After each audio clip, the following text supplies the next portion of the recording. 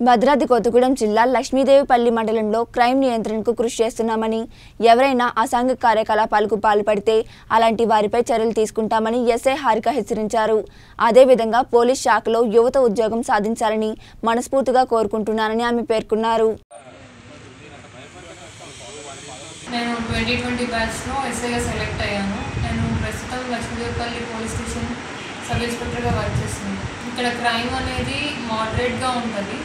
అంటే మేము మా యాక్చువల్గా మా పరంగా ఇది ఫోర్ కేటగిరీస్లో మాది థర్డ్ కేటగిరీలో ఉంటుంది అన్నమాట. టూ హండ్రెడ్ చేంజ్ క్రైమ్ అలా ఉంటుంది. ఇక్కడ ఎక్కువ సంబంధించిన కేసెస్ వచ్చేసి కొట్టుకోవడం గురించి ల్యాండ్ ఇష్యూస్కి సంబంధించి ల్యాండ్ ఇష్యూస్ వల్ల కొట్టుకునే వాటి గురించి వస్తుంది అనమాట అండ్ ఉమెన్ రిలేటెడ్ ఇష్యూస్ కూడా వస్తూ ఉంటాయి.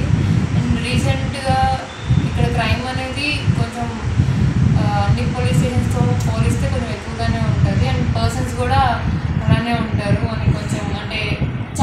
ఫేస్ చేయొచ్చు అనమాట మనం ఇక్కడ cases different types of cases and different కొత్తగా నేర్చుకోవచ్చు ఇక్కడ మనం.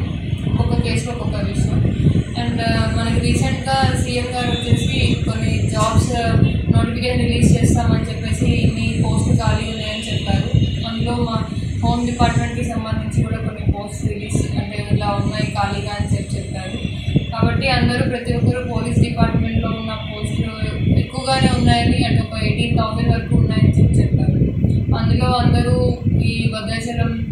ప్రజలందరూ కష్టపడి నిరుద్యోగులందరూ కష్టపడి ఆ, మా డిపార్ట్మెంట్లో కూడా జాయిన్ అవ్వాలని కోరుకుంటున్నాం. ఎందుకంటే ఈ డిపార్ట్మెంట్కి అంటే ఏ డిపార్ట్మెంట్ని గుర్తించడానికి ఏ డిపార్ట్మెంట్ డిపార్ట్మెంట్ని గుర్తిస్తారు. అండ్ మనం కూడా ఈజీగా కనిపిస్తూ ఉంటాము. కాబట్టి ఈ డిపార్ట్మెంట్ని ఎటువంటి సంకోచం లేకుండా చూస్ చేసుకొని జాయిన్ అవ్వాల్సిందో కోరుతున్నాం